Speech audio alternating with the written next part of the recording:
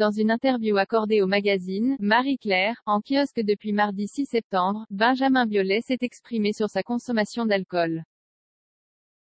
À l'occasion de la sortie de son dixième album intitulé Sinclair, Benjamin Biolay a donné une interview à Marie-Claire, en kiosque depuis mardi 6 septembre.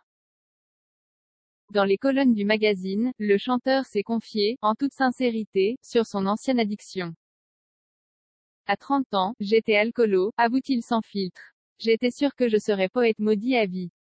Accro à la vodka, l'ex-compagnon de Chiara Mastroianni a également confié qu'il en consommait 5 litres par jour soit 30 bouteilles par semaine, d'après son régisseur. Ce n'était pas agréable, je devenais gras, je n'étais même pas bourré, se souvient-il.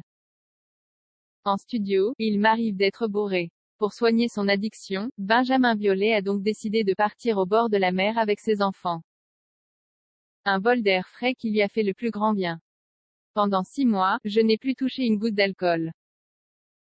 Et plus jamais d'alcool fort, explique-t-il. Cependant, le chanteur s'autorise encore quelques vers, qu'il utilise comme un outil de travail. En studio, il m'arrive d'être bourré. Deux trois vers vont me faire partir, faire taire mon putain de cerveau, ma dureté avec moi-même qui m'empêche de baiser une chanson quand je suis à deux doigts de trouver un truc, dévoile-t-il.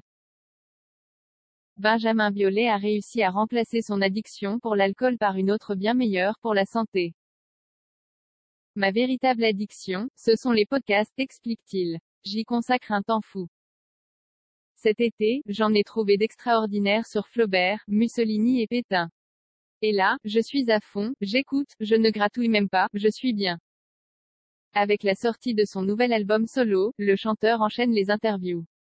Le 25 août dernier, l'interprète de La Superbe s'était confié sur le mariage de Julie Gaillet et François Hollande.